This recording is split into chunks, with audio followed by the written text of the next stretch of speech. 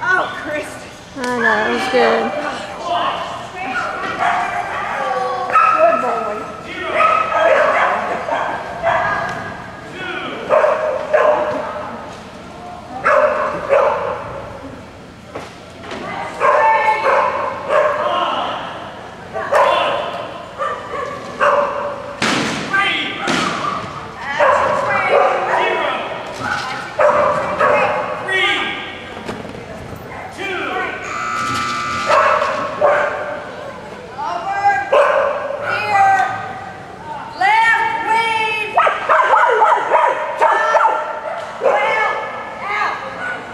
Good girl.